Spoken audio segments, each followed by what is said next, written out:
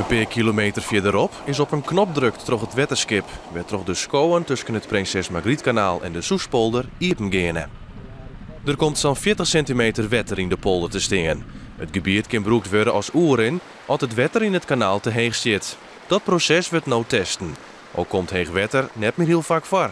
Het waterschip had natuurlijk een hele protte geïnvesteerd in gemalen en om uh, polderpijlen goed te beheren, zodat er echt goed bewerkt uh, kan worden. Nou ja, dat, uh, dat had zijn effect gewoon.